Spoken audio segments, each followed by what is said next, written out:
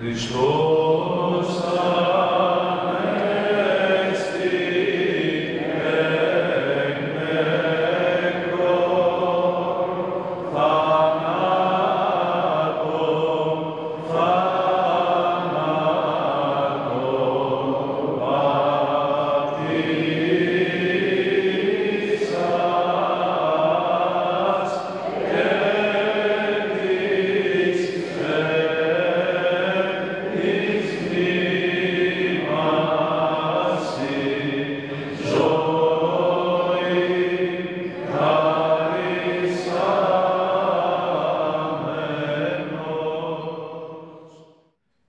γίνεστε, είστε καλά όλοι; Μπράβο, μπράβο, μπράβο. Χαιρόμαστε. Είχαμε και γάμο την Κυριακή που μας πέρασε, δύο παιδιά δικά μας. Όχι δύο παιδιά, συγγνώμη, τέσσερα. Οι δύο γάμοι, ναι. Τα παιδιά και τα κορίτσια, καταλάβατε, γι' αυτό έτσι οδηγήθηκα. Ως μωραΐτες πήγε έτσι το μυαλό μου. Λοιπόν, ε, δύο παλικάρια και δύο κοπέλες. Ο Αλέξης με την Αθανασία και ο Οδυσσέας με τη Φωτεινή. Παντρευτήκανε, πάνε και αυτοί, πώς λέμε και. Το λέω καμιά φορά έτσι και μου λένε κάποιοι, μου λέει, τι το λέτε, λες και έφυγαν, λέει. Ε, λέω σιγά σιγά παίρνουν το δρόμο του μαρτυρίου, λοιπόν, για να μπορέσουν να, να καρποφορήσουν. Και χαιρόμαστε ιδιαίτερως και τους ευχόμαστε να είναι ευτυχισμένοι, να είναι ευλογημένοι και να είναι πάντοτε αγωνιζόμενοι. Όλα μέσα στη ζωή βγαίνουν με αγώνα. Όλα. Ξέρετε, έχουμε μια αντίληψη για το γάμο. Δεν ήθελα να πω αυτά, αλλά θα το πω και αυτό, δεν πειράζει. Λοιπόν, άντε και βίων ανθόσπαρτων και καλούς απογόνους, όχι πολλούς, καλούς. Λοιπόν, έτσι το λένε ο κόσμος. Και να έχετε πλούσια αγαθά, υλικά και εκείνα και τ' άλλο. Εντάξει, ωραία. Και happy end και weekend και όλα αυτά τα συναφή. Ναι, και όλα αυτά είναι πολύ όμορφα και μακάρι να ισχύουν, αλλά για να γίνουν αυτά και άλλα πολλά, χρειάζεται ο άνθρωπος να μην είναι φυγόπονος. Αυτή η φυγοπονία είναι μια αρρώστια που διατρέχει τον άνθρωπο για πάρα πολλά χρόνια, σε όλη την ιστορία του τον κυνηγάει και σε όλα τα επίπεδα ζωής. Από το προσωπικό επίπεδο μέχρι το οικογενειακό, μέχρι το κοινωνικό, μέχρι το πολιτικό επίπεδο, μέχρι το πανανθρώπινο, το παγκόσμιο έτσι επίπεδο, η φυγοπονία του ανθρώπου μόνο προβλήματα του έχει δημιουργήσει. Έτσι λοιπόν μπαίνουν στο γάμο τα παιδιά και σου λέει τώρα θα αράξω. Όχι, τώρα θα δουλέψω. Δεν θα αράξω. Δεν έδεσα κανένα γάιδωρο και καμιά γαϊδουρίτσα. Τώρα θα δουλέψω. Τώρα θα αγωνιστώ ακόμη πιο πολύ στο να δείχνω την αγάπη που εννοείται. Θα αγωνιστώ ακόμη πιο πολύ στο να ταπεινώνομαι και να σπέβδω να ταπεινωθώ μπροστά στον άνθρωπο που έχω βάλει δίπλα μου και που τον αναγνωρίζω την οδόρο του Θεού στη ζωή μου. Τώρα θα μάθω να δίνω πιο πολλά χωρίς να υπολογίζω τι παίρνω και έτσι ο γάμος ευλογείται. Τώρα θα κάνω πιο πολύ προσευχή, οι περισσότεροι με το που παντρεύονται πάνε και αγρυπνίες μέχρι να βρουν την ύφη ή το γαμπρό, να στις αγρυπνίες, να στις ομιλίες, να στα απόδειπνα, να στις παρακλήσεις και τρεις αγρυπνίες το, τη βδομάδα και οχτώ ομιλίες το μήνα ε, μετά που το βρήκαμε ή τη βρήκαμε, εντάξει τώρα, τώρα είμαστε οικογενειάρχες. Και μετά έρχονται τα σκαμπιλάκια, οι δυσκολίες, οι πειρασμοί και λέει, όχι, κάτι πρέπει να ξαναρχίσω, κάτι πρέπει να βάλω μπροστά, στην καλύτερη των περιπτώσεων, γιατί άλλοι ψάχνουν να βρουν άλλες λύσεις, ανθρώπινες, οι οποίες δεν είναι και τόσο δεδομένες και μάλιστα πολλές φορές, άμα τις έχουμε και έτοιμες, σαν συνταγή, πάρ' της κανένα δωράκι, πες της καμιά καλή κουβέντα, φτιάξ' του κανένα καλό φαγητό, ξέρω εγώ, βρείτε τον έρωτα που χάσατε κάπου στη διαδρομή. Όταν έχουμε έτσι έτοιμες λύσεις, συνταγές, τότε είναι που το κακό γίνεται χειρότερο και ακόμη χειρότερο.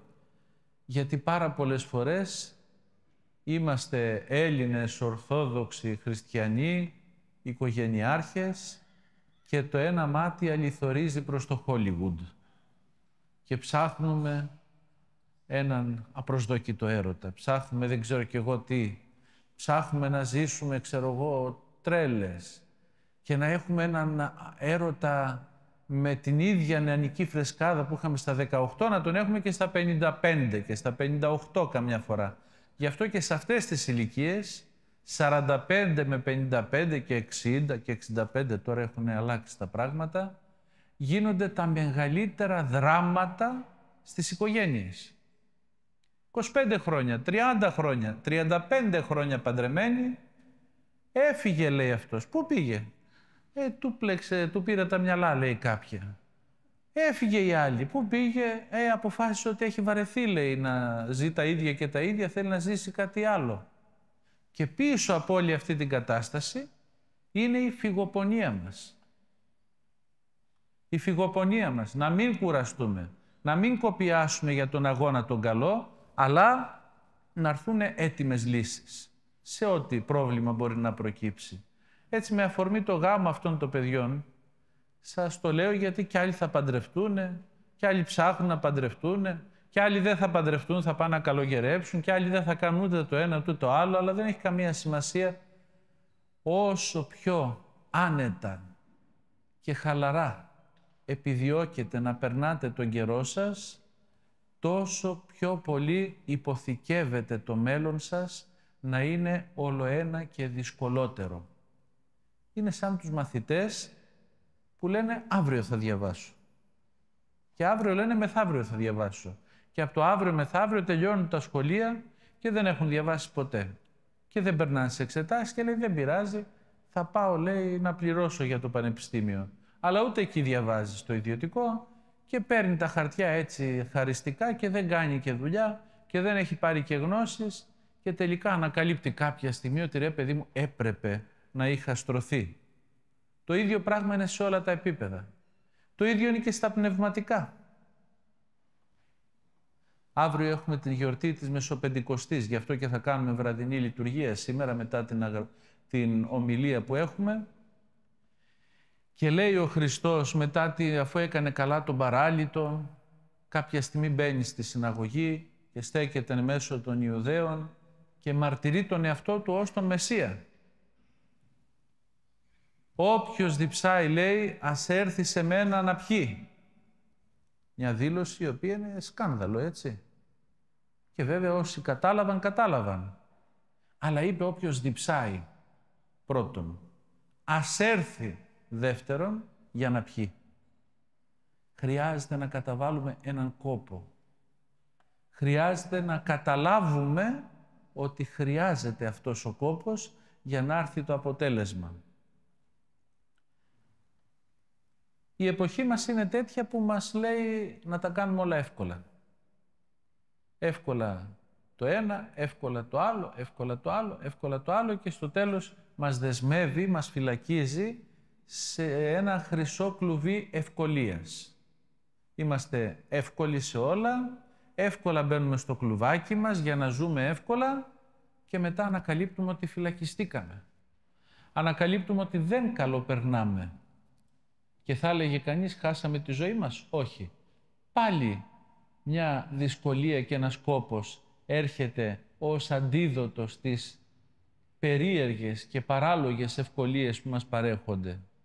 Η άσκηση, η μετάνοια, ο πνευματικός κόπος, ο πνευματικός αγώνας είναι αυτός που σου δίνει τη δυνατότητα να απελευθερωθείς πάλι. Γι' αυτό έτσι να αγαπήσετε τον κόπο. Σήμερα με το παλιό ημερολόγιο, καμιά φορά τα θυμόμαστε και πώς πάνε και με το παλιό και με το νέο, είναι του Αγίου Λουκά του Συμφερουπόλεως. Και συν 13 πάει πιο μετά σε εμάς και το γιορτάζουμε 11 του μηνός Ιουνίου. Ο Άγιος Λουκάς τι λέει, αγάπησα το μαρτύριο. Έτσι εκφράστηκε. Ένας άνθρωπος που μαρτύρησε πραγματικά. Φυλακίσεις, εξορίες, δεινά. Δεν του τα έφερε και πολύ καλά ο Πανάγαθος Θεός. Του πήρε τη γυναίκα νέα, τον άφησε με παιδιά, να πρέπει να τα μεγαλώσει. Τον έφερε και σε δύσκολη εποχή. Δεν τον έφερε σήμερα να είναι χειρούργος και τρομερός χειρούργος, να βγάζει και πολλά λεφτά, να είναι εδώ στην Ελλάδα, να είναι και δεσπότης να του λένε εις πολλά τη δέσποτα και όλα να είναι όμορφα και με λιγάλα, τον πήγε σε εκείνη την περίοδο στη Σοβιετική Ένωση, έζησε όλες αυτές τις καταστάσεις τις δύσκολες, τους διωγμούς κατά της Εκκλησίας και έζησε και πολλά χρόνια. Δεν τελείωνε το μαρτύριο και είχε και προβλήματα υγείας. Στο τέλος ήταν και τυφλός. Και αυτός ο άνθρωπος αγίασε και εν ζωή και μετά την κοίμησή του έγινε φανερή η αγιότητά του και έκανε θαύματα και εν ζωή και μετά θάνατο. Αυτός δεν είπε αγάπησα, ξέρω εγώ την προσευχούλα, αγάπησα την ησυχία, αγάπησα το μαρτύριο είπε. Γιατί όλα τα, τα άλλα πράγματα για να μπορέσει κανείς να τα γευτεί πρέπει να ετοιμάζεται για μαρτύριο. Και εν την ημέτρο, μαρτύριο είναι όλα στη ζωή μας, αν θέλουμε να τα κάνουμε σωστά. Έτσι και αύριο που θα γιορτάσουμε, θα θυμηθούμε μάλλον, δεν θα γιορτάσουμε, την άλωση της Κωνσταντινούπολεως, πάλι θα δούμε ότι η φυγοπονία ήταν εκείνη που άνοιξε τις πόρτες για να μπουν μέσα οι κατακτητές. Πρώτα στην πρώτη άλωση, το 1204, 13 Απριλίου, οι Φράγκοι με τις σταυροφορίες μπήκανε μέσα. Μετά στη δεύτερη άλωση και ο Θεός να δώσει, όπως έλεγε ο πατήρ Γεώργιος ο Μεταλλινός, ο Μακαριστός, μην πάμε και για τρίτη άλωση. Να αλωθούμε τελείως ως προς τη συνείδηση και το φρόνημά μας. Η καλοπέραση ήταν αυτή που άνοιξε τις πόρτες και στους Φράγκους και στους Τούρκους. Υπήρξαν και αυτοί που αγωνίστηκαν, αλλά πριν φτάσουν σε αυτούς τους αγώνες, τους έσκατους όπως ο Κωνσταντίνος, ο Παλαιολόγος και οι υπερασπιστές της βασιλευούσης, δυστυχώς υπήρχε μια μεγάλη πλειοψηφία ανθρώπων που θέλαν τα εύκολα. Ποιος θα μας σώσει από τους επιδρομείς; Ε, όχι, εμείς τώρα πού να πολεμάμε και τα λοιπά. Θέλουμε τη Δύση να έρθει να μας σώσει. Ήρθε η Δύση με σταυροφορίες. Και έκανε σταυροφορίες στα Ιεροσόλυμα, λέει, για να βοηθήσει τους Αγίους τόπους. Τι δουλειά είχε στην Κωνσταντινούπολη; Μήπως ήμασταν μουσουλμάνοι και δεν το ξέραμε; Χριστιανοί δεν ήμασταν. Γιατί ήρθανε; Γιατί θέλανε ό,τι θέλουν πάντοτε να λαφυραγωγήσουν, να απομυζήσουν κάθε τι όμορφο που υπήρχε στη βασιλεύουσα που ήταν καρφί στο μάτι τους. Να ξέρετε από τότε που μεταφέρεται με το Μεγάλο Κωνσταντίνο, όπως είπαμε, η πρωτεύουσα της Ρωμαϊκής Αυτοκρατορίας στην Κωνσταντινούπολη. Και έχουμε τη Νέα Ρώμη, έχουμε μια μεγάλη ελληνική Ρωμαϊκή Αυτοκρατορία, λέει και το ελληνική για να αποσαφηνίζουμε τα πράγματα, η οποία ήτανε, απήχε παρασάγκας από τη βαρβαρότητα της δύσης που κυριαρχούσε εκείνη την εποχή. Οι Φράγκοι ήταν λίγο πολύ βάρβαροι και δεν το αντέχανε να βλέπουν μια Κωνσταντινούπολη με γράμματα, με πολιτισμό, με θεολογία, με πίστη ζωντανή, με έργα αγάπης. Όταν εμείς εδώ πέρα είχαμε φιλανθρωπικά ιδρύματα που φτιάχνανε στη, στη Βυζαντινή Αυτοκρατορία, όταν είχαμε ιεραποστολή μέχρι την Κίνα, μέχρι τις Ινδίες, η Δύση λίγο πολύ πολεμάγαν μεταξύ τους οι διάφορες φυλές που ανεβοκατέβαιναν, ποιος θα υπερισχύσει και είχαν ακόμη και τους παγανιστές με πολύ δύναμη ακόμη να ζητάν τα ρέστα και να κυνηγάνε και αυτοί ακόμη τους χριστιανούς. Έτσι λοιπόν σου λέει θα πάμε να τριγίσουμε, κατακτητές είμαστε κι εμείς, δυνατοί είμαστε και μπήκαν και τρίγησαν. Και μετά, αντί να βάλουμε μυαλό και να πούμε αυτοί δεν θέλουν το καλό μας, ας κοπιάσουμε, ας κάνουμε ο καθένας αυτό που πρέπει για να στήσουμε πάλι την αυτοκρατορία, όχι μόνο την αφήσαμε λαβωμένη και τραυματισμένη από τους φράγκους, αλλά μπήκαμε και σε μία άλλη κατάσταση, πλάνης.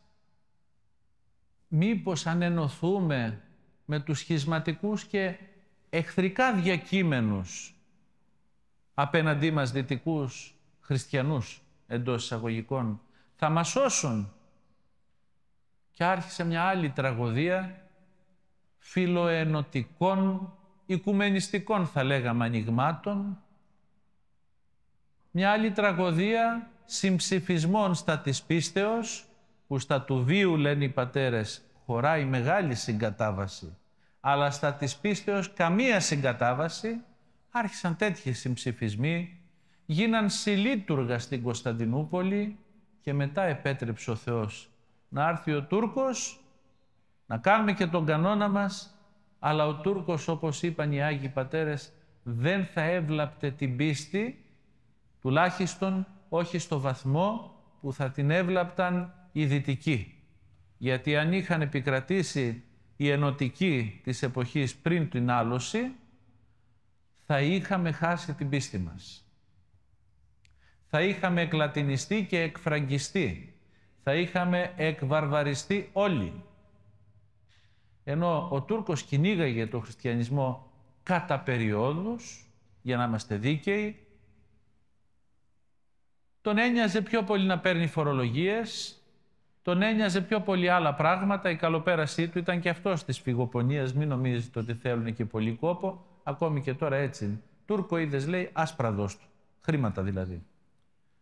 Και έτσι λοιπόν, αφού έγινε Σουλτάνος και πήρε και την Κωνσταντινούπολη, πλιατσικολόγησαν, κάνανε, σφάξαν, βιάσανε, κάναν τι κάνανε. Ε, παρόλα αυτά, οι Άγιοι δεν σταμάτησαν να υπάρχουν στην τουρκοκρατία.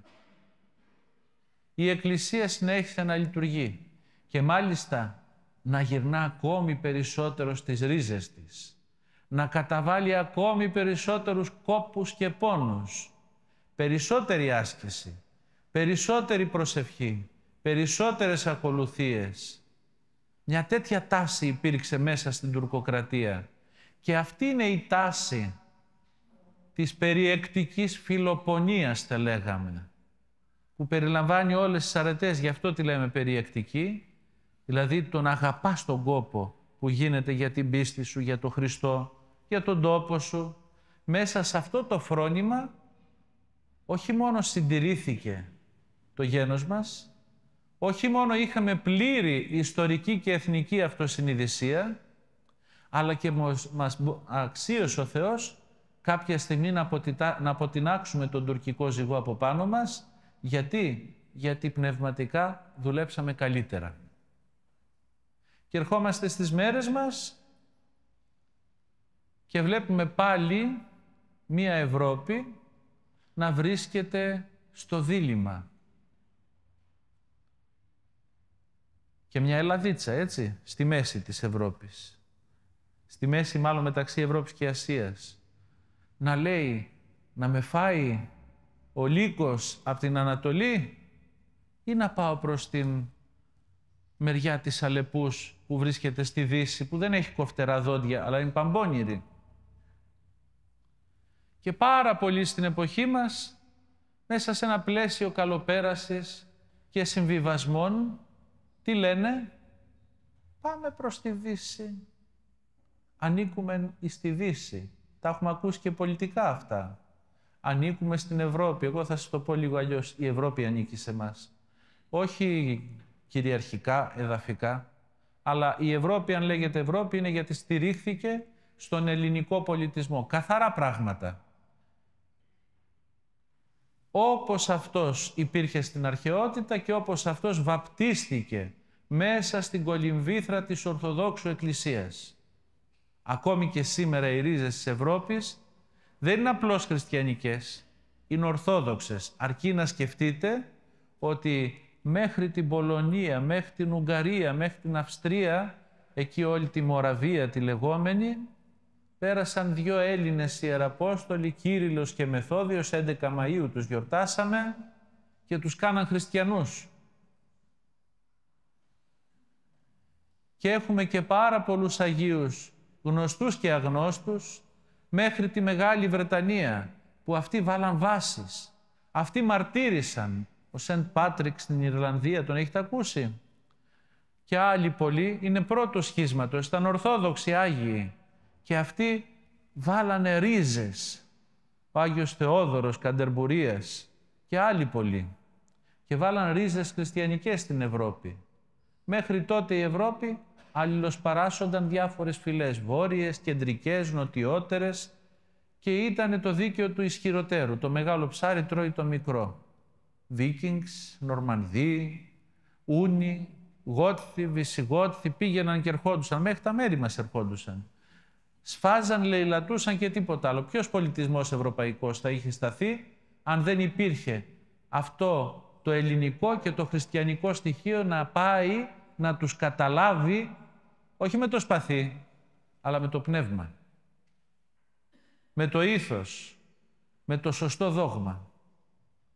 Αυτή η Ευρώπη λοιπόν, ενώ πήγαινε καλά, μόλις έπεσε στην αίρεση, στον παπισμό και τον προτεσταντισμό, άρχισε πάλι να εκβαρβαρίζεται. Άρχισε πάλι να εκβαρβαρίζεται, γιατί κάθε ένας που είναι υπερφύαλος, που είναι εγωιστής, που θέλει να υπερισχύει με τη δύναμη του ισχυροτέρου, αυτός και την πίστη χαλάει και το ήθος χαλάει και τη ζωή του χαλάει και φαίνεται ακόμη και σήμερα. Η Ενωμένη Ευρώπη, η μεγάλη ευρωπαϊκή οικογένεια, όλα αυτά που λέγονται, τι είναι; Το δίκαιο του ισχυροτέρου. Οι Βόρειοι πατάνε πάνω στους Νότιους ή δεν είναι έτσι; Όλα τα πολιτικά κόμματα τα ίδια λένε. Κοιτάζουν πώς θα είμαστε μέσα σε αυτή την Ενωμένη Ευρώπη. Κάποιοι γυρεύουν τα ψίχουλα των άλλων. Κάποιοι σου λέει εγώ να ζήσω και ας ψοφήσει ο γείτονας. Αυτό είναι ευρωπαϊκός πολιτισμός; Όχι. Και οι φίλοι μας, οι Ρωμαιοκαθολικοί, επιχαίρουν σε κάθε ήττα του ελληνισμού και της Ορθοδοξίας. Οι πρώτοι που πάντοτε στους Σκοπιανούς, τους γείτονές μας από πάνω, τους χαιρετούσαν στη μακεδονική γλώσσα εδώ και 50-60 χρόνια. Ποια μακεδονική γλώσσα, το λέγαν στα αρχαία ελληνικά που μίλαγε ο Αλέξανδρος, στα Σλαβοσκοπιανά. Αυτά που λένε εκείνοι, τα οποία έχουν σλάβικα, έχουν βουλγάρικα, έχουν αρβανίτικα, έχουν τουρκικές λέξεις, έχουν και κάποιες ελληνικές, ένας αχταρμάς. Βρήκαν και αυτή γλώσσα. Πρώτος πρώτος ο Πάπας του συγχαίρει και πρώτος πρώτος θα είναι και αυτός που θα τρίβει τα χέρια του να το ξέρετε αυτό. Το λέω έχοντας επίγνωση. Επίγνωση ότι δεν είναι ευχάριστα αυτά που λέω. Θα τρίβει τα χέρια του αν μας δει να βουλιάζουμε κυριολεκτικά. Αν μας δει να έρχονται κατά εδώ οι Τούρκοι και να μας φάζουνε, θα τρίβει τα χέρια του. Γιατί, γιατί δεν διανοείται ποτέ ότι ο κόκκος του σύτου πρέπει να πέσει στη γη και να πεθάνει για να βλαστήσει μια νέα ζωή. Δεν διανοείται ποτέ ότι πρέπει να απεκδηθεί όλο το εξουσιαστικό και κοσμικό περίβλημα που έχει.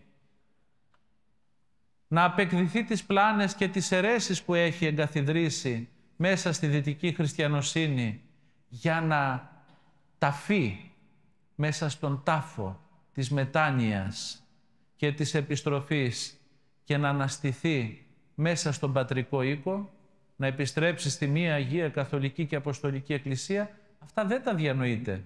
Ούτε ο παπισμός, ούτε ο προτεσταντισμός που κυριαρχούν στη Δύση. Γι' αυτό και χαίρουνε με κάθε μας αποτυχία. Και εμείς οι έξυπνοι εδώ πέρα, εντός εισαγωγικών έξυπνοι, δεν είμαστε δυστυχώς, χάριν της φυγοπονίας μας, να μην εργαστούμε, να μην κοπιάσουμε, ούτε πνευματικά, ούτε κοινωνικά, ούτε εθνικά, ούτε τίποτε, να μην μας διαταράξει κανένας τη ζωή τη χαρισάμενη που ζούμε με τα επιδόματα ανεργίας, καυσίμων, φοιτητικά, επιδόματα σούπερ μάρκετ, επιδόματα να πάμε στο pet shop να πάρουμε για τα σκυλάκια μας μπισκοτάκια, ξέρω εγώ, επιδόματα, επιδόματα, επιδόματα, μην τυχόν και χάσουμε αυτή τη ζωή τη χαρισάμενη. Δεν βλέπετε, τρώμε μέχρι σαν κουτάλια όλοι. Α, σε καλά είμαστε και έτσι, στο χρυσό κλουβί. Να τα έχουμε καλά και με τη Δύση. Τι θέλει η Δύση; Γάμους. Ωραία, όχι μόνο ομοφιλοφίλων. Θα κάνουμε και γάμους κατοικίδια με τα αφεντικά τους σε λίγο. Τι θέλει η Ευρώπη, ε, τούτο θα το κάνουμε. Τι, θα, τι θέλει η Ευρώπη, το άλλο θα το κάνουμε. Και τι θα γίνουμε, σαν τα μούτρα τους. Πηγαίνετε στην Ευρώπη, θα θαυμάσετε ωραία κτίρια, θα θαυμάσετε ωραία παρτέρια. Η Γαλλία, ας πούμε, είναι πανέμορφη σε αυτό το κομμάτι, αλλά μετά θα δείτε πάλι το βαρβαρισμό να υπάρχει παντού. Ανθρωπιά μηδέν. Μοναξιά εις την ιωστή. Αυτοκτονίες πιο πολλές από παντού. Μιζέρια. Έλλειψη έρωτος. Αλλά πολύ σεξ. Αυτά είναι τα χαρακτηριστικά της Ευρώπης. Πολιτισμός, ό,τι είναι απομίμηση, απομίμηση του αρχαίου ελληνικού πολιτισμού, ε, κάπως στέκει και είναι και αυτό που θαυμάζουμε. Όλα τα κτίρια που θαυμάζουμε είναι απομιμήσεις των αρχαίων ελληνικών κτιρίων. Όλα. Οτιδήποτε άλλο, ένα μπέρδεμα. Πηγαίνετε εκεί να δείτε καμιά έκθεση σύγχρονης τέχνης, σύγχρονης ζωγραφικής. Ανακατεμένος ο ερχόμενος. Τι θέλει να πει ο ποιητής, εδώ εφαρμόζεται. Δεν ξέρει το ίδιο τι θέλει, αλλά κάθονται βαθιστόχαστοι όλοι, κοιτάζουν πεταμένα τα χρώματα πάνω στον πίνακα και σου λέει αυτό πρέπει να εννοεί. Βγάζει εκείνο, μα κάτι θα βγάζει σίγουρα, δεν, δεν το ακυρώνω, αλλά φανταστείτε που έχουμε φτάσει. Γι' αυτό και έχουμε την τέχνη για την τέχνη. Και ο άλλος φιλοξενούσαν τα έργα του στο Μπομπούρ, στη Γαλλία και σε μεγάλες εκθέσεις στο Λονδίνο και είχε τη φαϊνή ιδέα, θα σας το πω δεν πειράζει, να ζωγραφίζει ούτε με τα χέρια ούτε με τα πόδια, αλλά με το προϊόν του κλείσματος που έκανε με μπογιές. Και θαύμαζε η πολιτισμένη Ευρώπη μας. Σε αυτή την Ευρώπη θέλουμε να είμαστε. Αν θέλουμε να είμαστε σε αυτή, πάμε σίγουρα για τρίτη άλωση. Άλωση ούτε από τους Φράγκους, ούτε από τους Τούρκους, αλλά άλωση της ψυχής μας από τις δαιμονικές πλέον καταστάσεις που ήρθαν ως αποτέλεσμα των Φράγκων και των Τούρκων και όλων αυτών των ανθρώπων που κινούνται στα όρια μεταξύ ανθρώπου και κτίνους. Θα μιλάμε για τέτοια άλωση. Δείτε τις ταινίες, δείτε την ποίηση, δείτε ό,τι θέλετε να δείτε και ελάτε να μου πείτε αν έχω άδικο. Σας προκαλώ να πάτε στην Ευρώπη.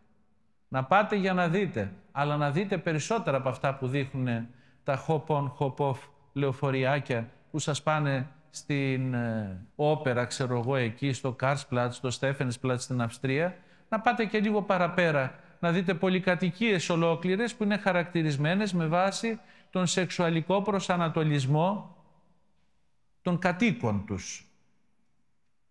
Με ταμπέλες. Εδώ είναι έτσι, εδώ είναι αλλιώς, εδώ είναι αλλιώς.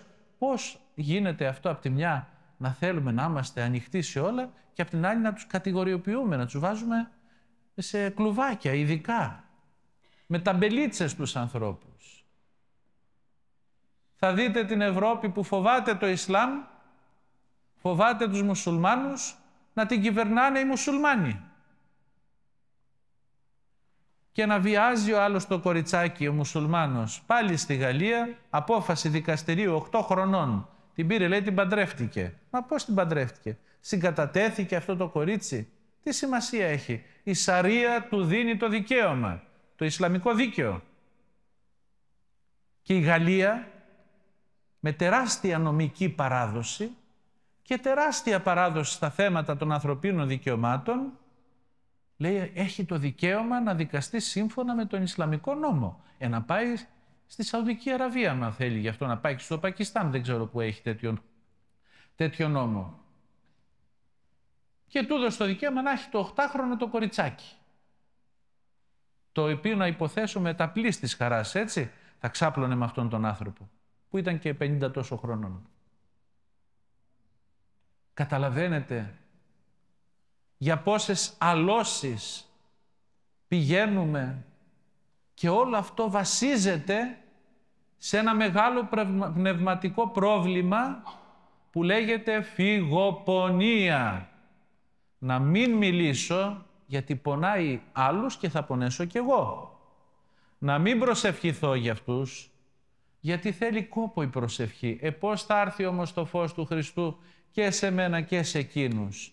Να μην γίνω εγώ Άγιος, όπως μου λέει το Ευαγγέλιο, γιατί είναι δύσκολο, έχει κόπο. Μα άμα δεν γίνω εγώ Άγιος, πώς θα είμαι το φως του κόσμου; Πώς θα είμαι το άλας της γης; Που θα νοστιμήσει αυτόν τον κόσμο που τίνει να χάσει κάθε γεύση. Τίνει να γίνει ένα, ένα άχυρο που το τρως, το τρως, μπουχτίζεις και λες ποτέ να μην το τρώγα. Πώς θα νοστιμήσει ο κόσμος αν δεν κοπιάσω; Ξέραν οι πατέρες μας. Και οι πατέρες μας είναι αυτοί που προχώρησαν στην αρετή. Αυτοί που αγίασαν. Και αυτοί ήταν ευτυχώς γιατί ο λόγος, ο σπερματικός του Κυρίου μας, ξέρετε, υπήρχε και πρόχριστου και στους Εβραίους μέσω της Παλαιάς Διαθήκης που ήταν η πρώτη αποκάλυψη του Θεού, αλλά και στους αρχαίους Έλληνες. Θα θέλατε να διαβάσουμε κάτι; Ο Πλάτωνας λοιπόν λέει, αλλά ο Πλάτωνας κοπίασε και ο Σοκράτης για αυτά που πίστευαν και πλήρωσαν και αντίτιμο.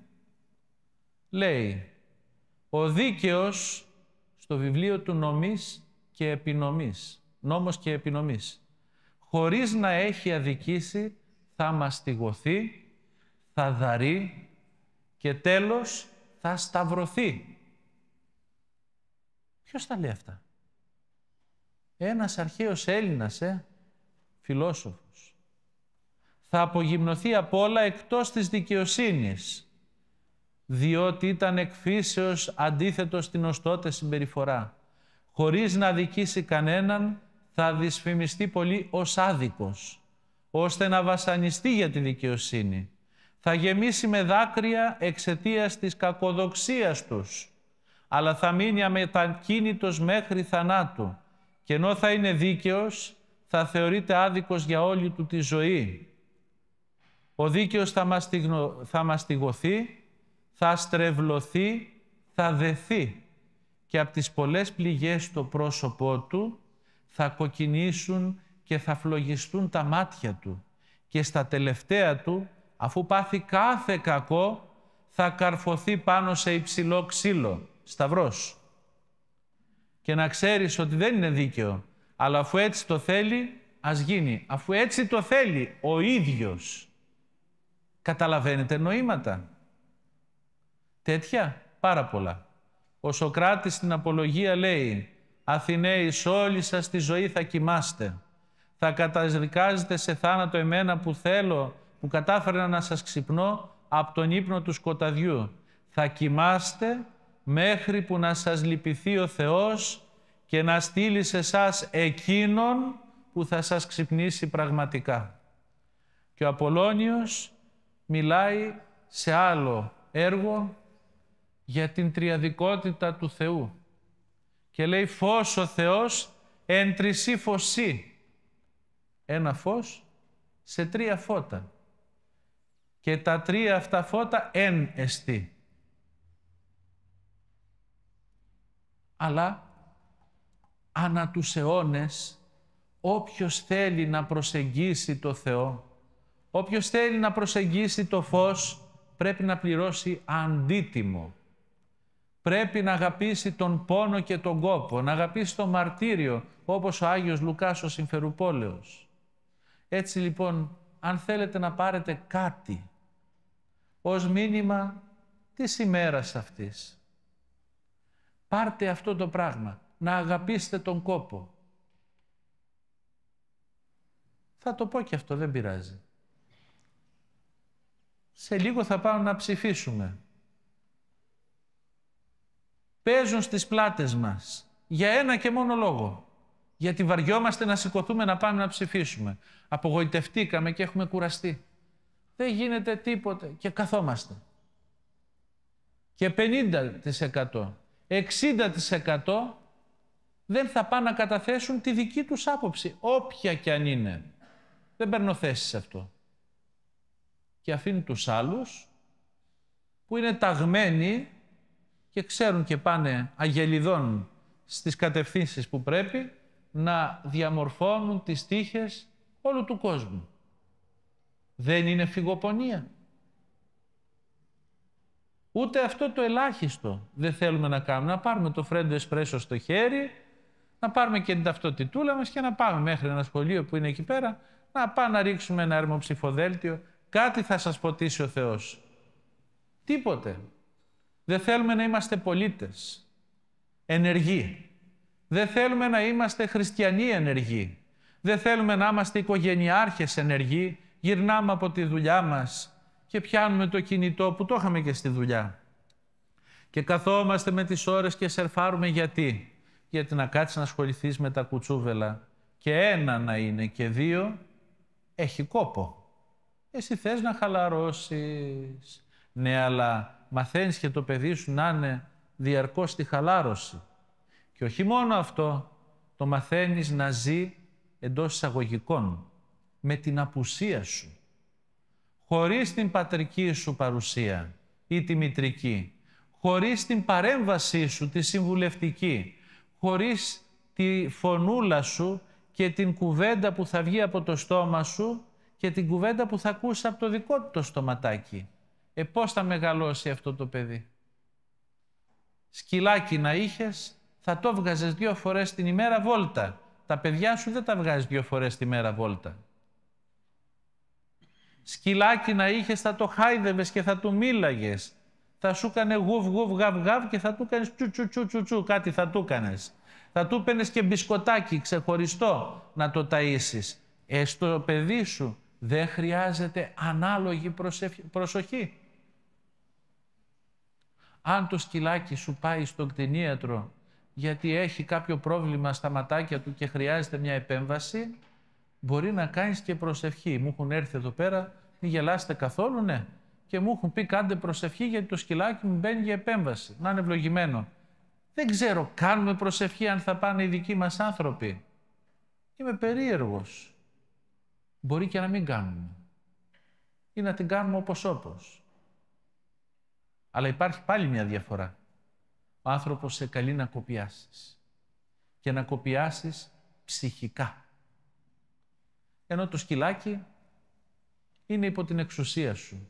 Το τάισες θα φάει, δεν το τάισες δεν θα φάει. Το έβγαλες βόλτα, βόλτα θα βγει. Δεν το έβγαλες δεν θα βγει. Του κάνεις και μια ευθανασία όταν το βαρεθείς και λες τελειώσαμε. Δεν μπορείς να κάνεις ευθανασία στη μαμά, στον μπαμπά, στα παιδιά, στους θείους, στα ξαδέρφια, καταλάβατε; Οπότε, φυγοπονία και στις ανθρώπινες σχέσεις, από τις οικογενειακές μέχρι τις φιλικές μέχρι όλες. Φυγοπονία και στο πού να πας τώρα να μπλέξεις ρε παιδάκι μου, καλά είσαι μόνος σου. Ξυπνάς το πρωί και κάνεις ό,τι θέλεις. Θα βάλεις μπελά στο κεφάλι σου. Καλή οικογένεια, με τρώνε οι γονείς μου κάνει οικογένεια, έχει έξοδα βέβαια. Άμα θες τρία πακέτα τσιγάρα, δύο κινητά, αυτοκίνητο, μηχανάκι μεγάλο για τις μεγάλες βόλτες και παπάκι για μέσα στο κέντρο, πού να σου φτάσουνε παιδάκι μου. Δεν σου φτάνει τίποτε. Αλλά σήμερα έτσι είμαστε. Αγαπήστε τον κόπο. Αγαπήστε και το μαρτύριο. Γιατί τελικά αυτά είναι που μας φέρνουν την πραγματική άνεση. Οι Άγιοι είχαν άνεση. Είχαν ελευθερία. Και δεν σκέφτονταν τίποτε. Θυσίαζαν τα πάντα. Και ο Θεός τους έδινε τα πάντα. Εμείς που δεν έχουμε ακόμη αγιάσει, σκεφτόμαστε τι θα θυσιάσουμε, δεν θυσιάζουμε τίποτε και δεν παίρνουμε και τίποτε. Καταλάβατε ποια είναι η διαφορά; Τόσο απλά τίθενται τα ζητήματα. Και την πόλη δεν θα την είχαμε χάσει. Αν δεν είχαμε πέσει σε αυτή τη μεγάλη παγίδα της φυγοπονίας που καλλιεργείται μέσα από την καλοπέραση, μέσα από τις τρυφές και τις ε, έτσι, ειδονές και τις ευχαριστήσεις. Και τη Μικρασία 2024, 1924 φύγαν οι τελευταίοι από Καπαδοκία και από εκεί. Δεν θα την είχαμε χάσει. Ναι, τα λάθη, τα στρατηγικά που γίναν τότε, Βενιζέλη, ιστορίες αυτά, υπήρξαν. Αλλά πέρα από αυτά υπήρχε και πνευματικός λόγος. Αρχίζαμε και γινόμασταν ένα κράμα φράγκων και ανατολιτών. Φραγκολεβαντίνη, το έχετε, το έχετε ακούσει αυτό; Και αυτό ξέρετε τι σήμαινε. Τη μια στην όπερα με την κυρία μας. Τα έδειξε πολύ ωραία η Ντενίση σε αυτή την ταινία Σμύρνη μου αγαπημένη, να τη δείτε. Έχει ιστορική ακρίβεια. Λοιπόν, αν μπορέσουμε θα κάνουμε και προβολή, να τη δούμε όλοι μαζί. Τη μία στην όπερα και ακούγαμε τις τέσσερις εποχές, ξέρω εγώ, ή το Spring Vals εκεί πέρα, και την άλλη στα χαμετυπία της Μύρνης, με τις πόρνες, με τα χασίσια, με τα ποτά, με το ένα πόδι από εδώ, με τα άλλο πόδι από εκεί, ε, και βέβαια και την Κυριακή στην εκκλησία με τα καλά μας ρούχα. Ως πότε θα κράταγε αυτό; Ως πότε θα κράταγε; Ναι, ο πολιτισμός μας ήταν ανώτερος, αλλά το ήθος μας είχε αρχίσει και εύθυνε. Γινόταν κατώτερο.